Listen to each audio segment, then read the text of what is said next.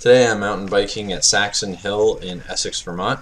This is a pretty extensive network of mostly single track trails. Uh, there's a, a, few areas that have double track, um, but the majority of the trail network is a single track trail.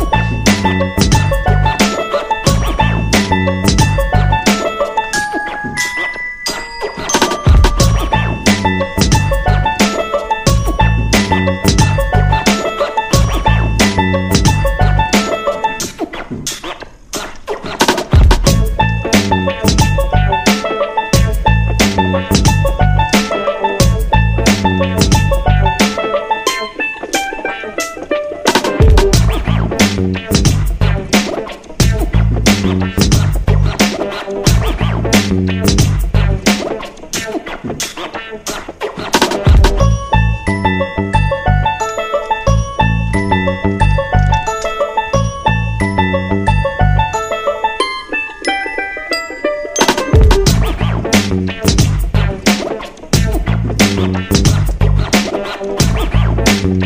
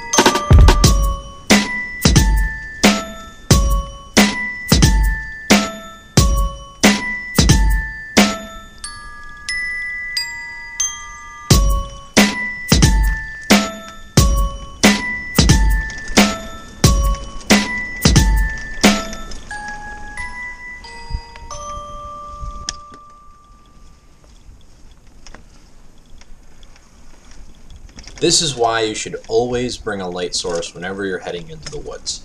This time of year in the northeast, it starts getting dark around 4.30 in the afternoon. Because of how quickly the seasons change, this can catch some people off guard, as it did me. I've been able to lighten up some of the video footage for you, but unfortunately most of it from this point forward is really not that usable.